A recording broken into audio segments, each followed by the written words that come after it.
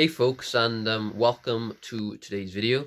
And um, what I decided to talk about today was um, bringing reading as a part of your daily routine. Um, as I think like and especially over the long term it will do you the world of good. Um, now in terms of reading it's always been something I've I've wanted to do. And um, you know and and I've long had a goal to like you know, to eventually at the point where reading a book a week, like, and that's still the goal. That's still the goal. And in the past, I have procrastinated on it, you know, and I'm sure you can relate with with this. It's like there's things you know would help you out, but it's just, you know, it's like we just like procrastinate and just don't do it. But over, I don't know, the last couple of weeks maybe, I'm not exactly sure. I I have like like you know been strict with it to do it every day and um and what I've decided to do is like um is like just like just start small just you know because you know it's like when I first started reading it's like I've done three pages and it's like I'm feeling kind of like I want to put the book down. And it's like do much more. It's like you try push but it's like it's it, it's actually hard. It's kind of like weights in the gym. It's like you reach like your comfortable amount but then you know you get to a point where it's like oh my like like you could do more but it's a struggle. And how I've decided to do is like, you know, like like find about where I'm at and then do a little bit more than that and then like kind of leave it. Um and then and then the next time, you know, like see how that feels and then you know if that's no like that's fine, do a little bit more. And and over time just gradually build it up.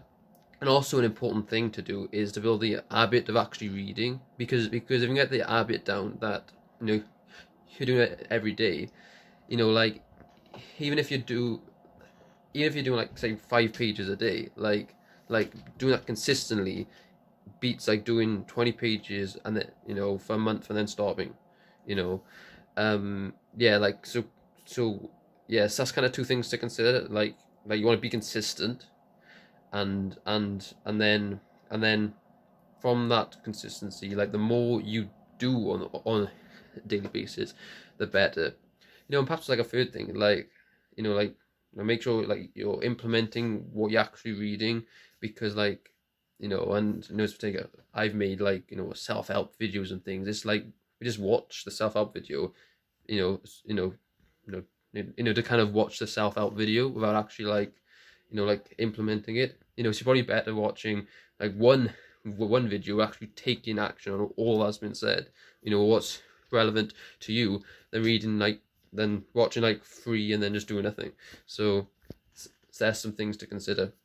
Um, a book I'm reading right now is The Power of Now, and you know, and that's how far I've gone through it. So what's that? I don't know. What is it about? Half, maybe, about half. Um, and the I'm kind of like what I'm doing on a daily basis is about five to ten pages, which I know isn't much, but you know I feel like but I've been consistent with the habit, and um, yeah, and it's like like I said, like gradually increasing it, and hopefully I get to a point where reading a book a week. Like that's the goal. Um, so yeah, I um invite you to get on reading, and and also like that I didn't mention is like this is for me. It's like you know some people say the reading fiction books like you can get lessons from uh, that as well, and you know if you can get like things that can help you in your life, then then that's then that's great. Um, but you know, like, like, no, you you kind of like goals you gotta think about, like, you know, you know, like, you know, like in terms of your reading, do you want to be reading something that just for entertainment and you don't, you know, like, you know, maybe a cool story, but you know, you might not get um, like real like things you can like take from the book and improve your life with you know, like, yeah. So I'm just like suggesting to read books that that's that's like filled with like useful information that you can actually use, and you'll find that commonly in self help books and and and and some fiction books and maybe in there as well. Like, yeah, but just just be aware of it. Like, you know, like because for me it's like if I'm reading, like especially not being like like you know a natural reader, you know, you know it's like you know like you know it takes some building for me. It's like like the books I am reading, like when I do read, I, like I want it to be like like I want a return on investment with her. Um, yes, that's some things. That's some uh, things to uh, think about in terms of reading. Definitely get on that, and um, and and this book, The Power of Now, is amazing. So like, definitely get on that, and um, yeah, yeah, it's really like open my eyes up more to uh, being present the moment, and um, and yeah, um, it's really good. So yeah, hopefully this video has um has um had some useful uh, advice, I guess. Well, his advice, but it's like I feel like I'm just like on the journey as well. So I'm just like kind of sharing what I've experienced with it. Um, yeah, um, if you have any insights, leave a comment below.